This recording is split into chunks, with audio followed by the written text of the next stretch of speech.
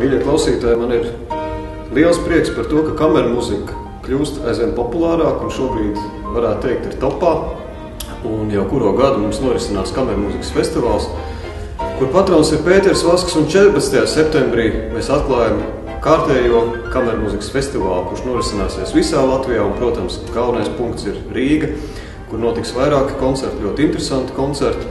Man ārkārtīgi liels prieks par to, ka uz šo kameru mūzikas festivālu vienmēr ierodas labākie Latvijas mūziķi, lai no kur viņi pasaulē arī būtu, lai kur ceļš viņus būtu aizvedis, bet vienmēr šeit viņi ir klāti. Un tādēļ arī 14. septembrī Melgāju namā mēs atklājam kameru mūzikas festivāla koncertu ar fantastisku kvartetu, ar Raro kvartetu, kur vadītāja ir Diana Ketlere, kur šobrīd ir noteikti viena no labākajām pianistēm gan Latvijā, gan arī varētu teikt Eiropā.